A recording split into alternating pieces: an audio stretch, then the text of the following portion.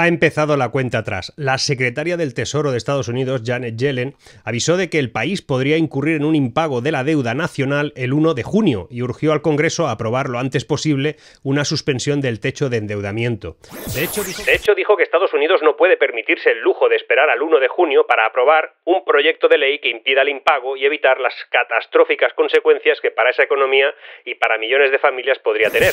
El actual techo de deuda es de 31,4 billones y lo alcanzaron el 19 de enero. Ese mismo día, el Tesoro activó medidas extraordinarias para pagar las cuentas, pero ya entonces se subrayó que el uso de esas herramientas financieras especiales se extendían solo hasta el 5 de junio. La Cámara de Representantes de mayoría republicana aprobó el 26 de abril un proyecto de ley para subir el techo de deuda a cambio de recortes en el gasto público, pero esa iniciativa tiene poco, pocos visos de prosperar porque los demócratas son mayoría en el Senado y la Casa Blanca ha avisado de que el presidente Joe Biden lo va a vetar en cuanto llegue a su despacho. Estados Unidos nunca ha tenido que declarar la suspensión de pago real de su deuda nacional, pero cada cierto tiempo se asoma esa posibilidad porque, a diferencia de otros países, su gobierno solo puede emitir deuda hasta el límite establecido por el Congreso, que tiene el poder de elevar ese techo según vea conveniente. ¿Va a ser diferente esta vez? ¿Existe riesgo real de un default en Estados Unidos? ¿Cómo nos afectaría a nosotros? Quédate hasta el final, porque lo de hoy también te interesa.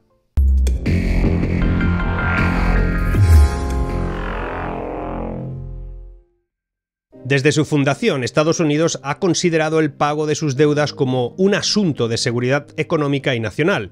Alexander Hamilton, el primer secretario del Tesoro de Estados Unidos, ya abogó porque el gobierno federal asumiera toda la deuda contraída por los estados durante la guerra. En un informe que presentó en el Congreso en 1790, Hamilton describía el cumplimiento puntual de los contratos, es decir, el cumplimiento de todas las obligaciones financieras a tiempo, como una cuestión de honor nacional. También argumentaba, aquel entonces que era fundamental para generar confianza en un sistema financiero y una moneda nacional que pudiera respaldar el desarrollo industrial de aquel país, todavía incipiente, y proporcionar seguridad contra el ataque extranjero por parte de imperios competidores, sobre todo en Europa. Más de un siglo después, durante la Primera Guerra Mundial, el Congreso creó el techo de deuda, un límite legislativo sobre cuánta deuda puede contraer aquel tesoro. Dada la controversia que rodea al techo de deuda hoy en día, puede sorprender que su propósito original era hacer que fuera más fácil, no más difícil, para el Tesoro administrar las finanzas del país durante un tiempo de conflicto global. Antes, el Congreso tenía que aprobar cada instancia de endeudamiento del Tesoro, porque solo el legislativo tenía la autoridad constitucional para grabar, gastar y endeudarse. Con el techo de deuda, el departamento podía endeudarse tanto como quisiera, hasta el límite establecido por el propio Congreso. Dejando de lado lo inusual que era la medida, se consideró una concesión patriótica del Congreso para compartir su autoridad fiscal con el Poder Ejecutivo en servicio del propósito geopolítico que compartían. Como resultado directo de esta acción del Congreso, el Tesoro pudo emitir entonces cantidades de bonos de guerra que movilizaron la base industrial de Estados Unidos y ayudaron a inclinar la balanza de la Primera Guerra Mundial a favor de los aliados. Después de la guerra, el dólar estadounidense empezó a superar a la libra esterlina como la moneda dominante del mundo. Un siglo después, otro siglo después, Estados Unidos se enfrenta de nuevo a una competencia geopolítica cada vez más intensa. Tanto China como Rusia han dejado claro su deseo de desafiar el orden internacional liderado por Estados Unidos y juntos tienen la capacidad de hacerlo. China gracias a su peso económico, militar y tecnológico y Rusia debido a ese gran apetito por tomar riesgos que desestabilicen la globalización mundial. Estados Unidos y sus aliados están respondiendo con fuerza a ambas potencias revisionistas, pero a medida que ese enfrentamiento se desarrolla, cada vez hay más países que están optando por no alinearse con ninguno de esos dos bandos. En lugar de fortalecer las finanzas de la nación para enfrentar el momento geopolítico, esa inacción del Congreso es una amenaza que podría dañar irreparablemente el posicionamiento global de Estados Unidos. El país llegó al límite de su deuda en enero. Ese mismo mes, como te he dicho, un grupo de republicanos en el Congreso dijo que aumentarían el techo de la deuda solo si los demócratas aceptaban recortes en el gasto federal, pero a principios de este mes, el presidente republicano de la Cámara, Kevin McCarthy, presentó un proyecto de ley para aumentar el techo de la deuda en 1,5 billones a cambio de 130.000 millones de recortes en gastos, un plan que la Casa Blanca dijo que era inaceptable. Aún así, el 26 de abril, los republicanos de la Cámara aprobaban por poco el proyecto de ley. Desde que se alcanzó el techo de deuda, el Tesoro ha gastado su balance de efectivo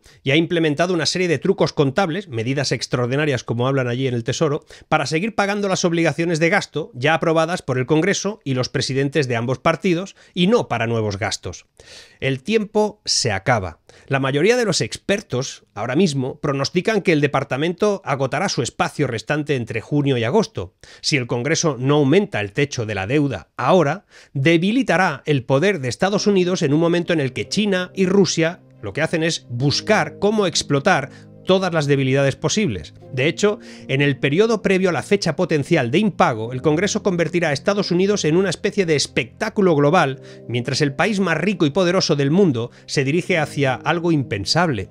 No será la primera vez. Desde 1960 el Congreso ha aumentado el techo de deuda 78 veces, en la mayoría de los casos bajo un presidente republicano. A veces, como en 2011, el Congreso titubea hasta que quedan solo unos pocos segundos antes del impago. Ese año, la calificación crediticia se rebajó la de Estados Unidos a de bueno, bajó por primera vez de triple A, por primera vez, pero la mayoría del impacto financiero y económico fue de corta duración, desapareciendo después de que el Congreso pues levantara el techo de la deuda en agosto.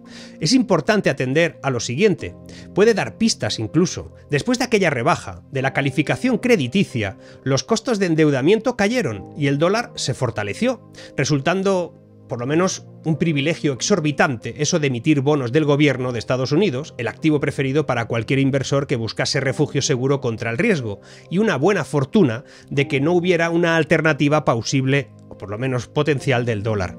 En ese momento Europa estaba sumida en su propia crisis de deuda, Japón estaba atrapado y China aún no había atraído flujos masivos de capital extranjero. Además, los activos digitales aún no se habían vuelto populares. Por eso esta vez podría ser peor. El contexto ha cambiado drásticamente. El Congreso está tan polarizado. Ahora, como nunca antes. En 2011 los republicanos tenían una mayoría cómoda en la Cámara, 24 votos más. Hoy en día solo tienen una ventaja de 5 votos. Además, la cantidad de deuda de Estados Unidos debe refinanciarse aproximadamente el doble de lo que era en 2011. Las tenencias extranjeras de bonos del gobierno de Estados Unidos han aumentado de 2,5 billones de 2011 a un total de 7 billones. De esas tenencias, al menos 1,5 son poseídos por gobiernos que no son miembros del G7 y podrían tener motivaciones geopolíticas para reducir su exposición a los dólares en momentos de estrés. Hay otra diferencia con 2011. En Europa está forjando una unión económica cada vez más estrecha, lo que hace que el euro, de alguna manera, sea una alternativa más plausible al dólar en todo el mundo. Y por último, y lo más importante, Estados Unidos está liderando actualmente la campaña de sanciones económicas más severa de la historia contra Rusia, y gran parte de su poder deriva de la capacidad de Estados Unidos para excluir a un actor peligroso del sistema financiero mundial dominado por el dólar. Washington puede necesitar emplear una campaña de sanciones aún más consecuente, más fuerte contra Beijing en caso de que ataque a Taiwán o dé a Moscú un apoyo letal para la guerra en Ucrania. Independientemente de si las sanciones están causando más daño a Rusia de lo que Moscú admita, lo que no hay duda es de que las sanciones son una espada de doble filo.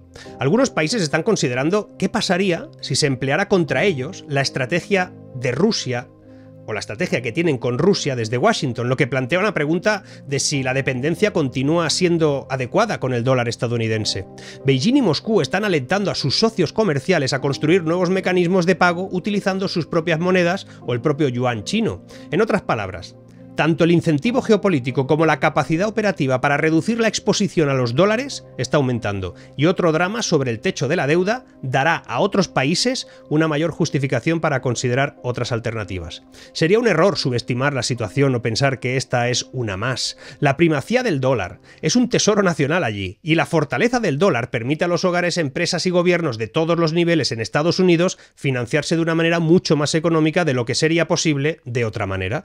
Las familias se benefician del estatus sin igual del dólar. Cada día, al pagar tasas de interés más bajas en la deuda de tarjetas de crédito, hipotecas y préstamos estudiantiles, pues le sale mejor. Al menos hasta ahora.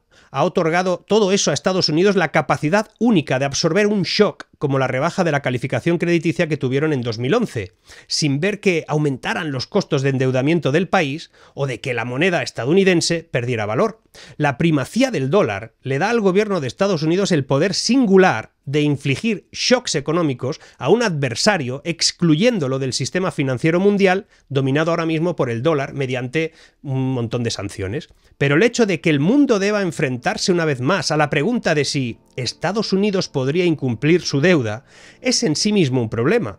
La primacía del dólar no es más que una red basada en la confianza el hábito, la falta de alternativas asumidas, todos esos sistemas basados en la confianza tienen puntos de inflexión, a menudo psicológicos e imposibles de identificar de antemano. La primacía del dólar fue capaz de ganar fuerza en el siglo pasado gracias, sobre todo, a la fe en la gestión de que Estados Unidos hacía con el sistema financiero mundial, junto con el Estado de Derecho, junto a la calidad e independencia de las instituciones americanas, la profundidad y liquidez de los mercados de capital estadounidense y además de un sistema abierto para el comercio, para el capital, para las personas, aunque la mayoría de esas fortalezas que te acabo de decir competitivas aún están intactas, hay muestras de que están perdiendo un valor cada vez más importante, aunque sea lento. Para evitar ese resultado, algunos legisladores expertos externos han propuesto en Estados Unidos opciones unilaterales que el Departamento del Tesoro podría utilizar para evitar el techo de deuda. Por ejemplo, explotar una oscura laguna legal